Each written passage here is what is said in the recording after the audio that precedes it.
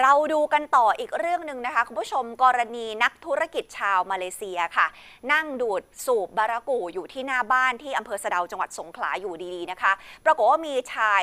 จากที่ไหนก็ไม่รู้สองคนนะคะ มาจับตัวขึ้นรถไป ล่าสุดมีความชัดเจนแล้วนะคะว่าสองคนนั้นเป็นตำรวจนะคะ แล้วก็มีการนำตัวมาสอบสวนแล้ว ทางตำรวจภูธรจังหวัดสงขลาทางผู้การเนี่ยค่ะ ยืนยันว่าจะให้ความเป็นธรรมกับทั้งสองฝ่ายค่ะ ดูกันอีกสักครั้งหนึ่งนะคะสำหรับภาพจากกล้องวงจรปิด นี่คือจุดเกิดเหตุที่หน้าบ้านในอำเภอสะเดาจังหวัดสงขลาของนักธุรกิจชาวมาเลเซียนี่เห็นไหมคะนี่ต่อหน้าลูกและภรรยาเลยนะคะ ก็มีชายสองคนมาพูดคุยสักพักหนึ่งก่อนที่จะควบคุมตัวขึ้นรถกระบะไป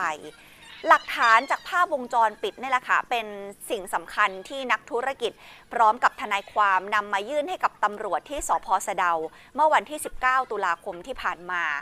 นะคะ เป็นเหตุการณ์ที่เกิดขึ้น 19 ตุลาคมที่ผ่านมา หลังเกิดเหตุเนี่ยภรรยาก็สอบถามไปยังสพสะเดาบอกว่า สามีถูกจับมาที่นั่นไหม แต่ทางตำรวจยืนยันว่าไม่มีนะ ไม่มีใครรู้เรื่องเลย แล้วก็ไม่รู้ด้วยว่าผู้ก่อเหตุเป็นใคร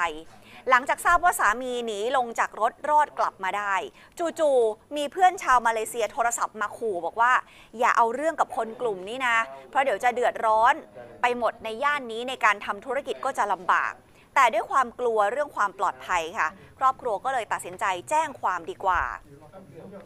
เรื่องนี้ล่าสุดนะคะพลตำรวจตรีวราเวชชาพินัน ผู้บังคับการตำรวจภูธรจังหวัดสงขลา พร้อมนายตำรวจในสังกัดตำรวจท่องเที่ยว และตมร่วมกันถแถลงผลสอบสวน ยืนยันว่าสองคนนั้นเป็นตำรวจจริงค่ะ เป็นตำรวจท่องเที่ยว และเป็นตำรวจสืบตรวจคนเข้าเมือง ในพื้นที่ตรวจคนเข้าเมือง 6 นะคะ ทั้งสองได้พบพนักงานสอบสวนแล้วมีการสอบปากคำซึ่งจากนี้ก็จะเร่งรวบรวมพยานหลักฐานส่งไปยังปปช ดูซิว่ามีมูลความผิดหรือไม่ และให้ว่ากันตามกฎหมาย เบื้องต้นมีรายงานนะคะว่าสรุปนะ เรียกรับเงินจริง ซึ่งขอไปสอบสวนและตรวจสอบก่อน ว่ามีหลักฐานพยานจริงหรือไม่ค่ะ เขาจะบอกเขาถูกอุ้ม ถูกทำร้าย ถูกเรียกเงินหรืออะไรก็ได้ อันนั้นเขาก็มาแจ้งเราเราก็บันทึกเอาไว้นะครับ ส่วนคลิปหรือพยานหลักฐานเนี่ย ก็เป็นสิ่งที่หน้าที่เจ้าหน้าที่ตำรวจเนี่ยต้องรวบรวมพยานหลักฐานนะครับ แล้วก็เสนอให้ทางปปชนะครับ ดูว่ามันมีหลักฐานจริงไหมนะครับ แล้วก็เป็นไปได้ไหมนะครับ การพิจารณาเนี่ยต้องเป็นก็ต้องเป็นอีกส่วนหนึ่งนะครับ คนละส่วนกับที่ที่เราเห็น คือ ที่บอกว่าเรียกรับเงินเนี่ยเป็นรายงานนะคะ ส่วนว่าจะเรียกรับจริงหรือไม่เดี๋ยวขอดูพยานหลักฐานก่อน ทางผู้บังคับการตำรวจภูธรจังหวัดสงขลายืนยันว่าคดีนี้ต้องให้ความเป็นธรรม และตรวจสอบข้อเท็จจริงจากสองฝ่าย ขณะเดียวกันก็มองว่าถ้าดูคลิปแล้วก็มันก็ไม่ได้เป็นการอุ้ม หรือบังคับขู่เข็นนะ ก็เป็นการเชิญให้ขึ้นรถ เพื่อไปทำบันทึกการจับกลุ่มเท่านั้นขณะที่ฝั่งทนายความของผู้เสียหายก็ยังมีข้อสงสัยติดใจบางประการ อย่างเรื่องพฤติกรรมของตำรวจในการเข้าไปจับกลุ่มมันดูผิดปกติ รวมถึงการอ้างว่านี่เป็นคดีซึ่งหน้า ซึ่งมองว่าถ้าดูกันตามกฎหมาย มันอาจจะไม่เข้าข่ายหรือไม่ค่ะซึ่งหากเป็นความผิดซึ่งหน้าเนี่ยมันต้องมีการนำเข้ามาผ่านด่าน แล้วก็จับตรงนั้นนะครับกรณีเนี้ยมันไม่มีความผิดในตอนในในตัวมันตอนนั้น แล้วถึงแม้จะเป็นความผิดที่มีความผิดซึ่งหน้าการจับกลุ่มก็มีความผิดพลาดทางกระบวนการ มีรายงานข่าวระบุว่าล่าสุดยุติธรรมจังหวัดสงขลาได้ติดต่อเข้าช่วยเหลือ ทั้งเงินชดเชย และการคุ้มครองความปลอดภัยของพยานในเหตุการณ์ที่เกิดขึ้นแล้วนะคะครับซึ่งถ้าไป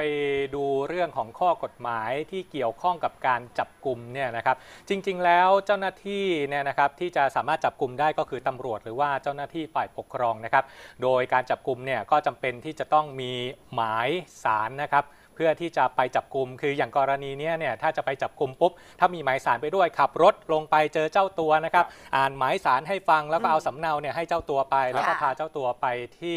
สอนอหรือว่าพื้นที่ของตำรวจเพื่อบันทึกการจับกลุ่มเนี่ยก็เป็นขั้นตอนตามปกติ แต่ถามว่าไม่มีหมายสารนี่ตำรวจ หรือว่าเจ้าหน้าที่ฝ่ายปกครองสามารถจับกลุ่มตัวได้ไหมก็ต้องบอกว่าก็ทำได้เหมือนกันถ้า เจอความผิดซึ่งหน้าอืมอันนี้อาจจะต้องไปดูนะครับอย่างที่ทนายความบอกไปว่าความผิดซึ่งหน้าเนี่ยดูเหมือนจะไม่มีอ่าแต่ว่าก็ต้องไปดูบันทึกการจับกลุ่มเนี่ยแหละครับว่าถูกจับกลุ่มด้วยเรื่องอะไรกันแน่ค่ะเพราะว่าถ้าไปดูข้อกฎหมายอย่างที่รายงานข่าวบอกจริงก็คือนั่งสูบบารากูอยู่ใช่ไหมครับครับ ซึ่งกรณีเนี่ยก็อาจจะผิดกฎหมายอยู่นะครับ เพราะว่าตัวบุหรี่ไฟฟ้าหรือบารากูเองนะครับก็คือห้ามจำหน่าย หรือว่ามีไว้ในครอบครองการสูบเนี่ยก็ไม่ได้ ดังนั้นอาจจะต้องไปดูในเรื่องของบันทึกการจับกลุ่มเนี่ยครับว่าโดนในเรื่องของข้อหาใดกันแน่นะครับครับและที่สำคัญคือพาไปไหนด้วย เพราะว่าตอนอืมที่หลังจากที่มีการนำตัวขึ้นรถไปแล้วเนี่ยครับคือภรรยาของคนที่ถูกจับกลุ่มตัว ไปที่รถคันนี้ครับเขาบอกว่าติดต่อทางสพในพื้นที่ แต่อืมตอนนั้นเนี่ยสพก็ไม่บอมีกใคว่ารรู้เรื่องไม่มีใครรู้เรื่องด้วยครับนะครับ ซึ่งเนี่ยก็อาจจะตีความได้ว่าจะมีความเกี่ยวข้องกับความพยายามในการเรียกรับเงินหรือไม่ด้วยเหมือนกัน โอ้แต่บางทีเรื่องบารากูนี่อาจจะเป็นความเข้าใจที่ผิด เพราะว่าเห็นสถานบันเทิงหลาย ๆ แห่งเนี่ยก็มีให้บริการ ครับ หลายคนอาจจะไม่รู้ว่ามันผิดกฎหมาย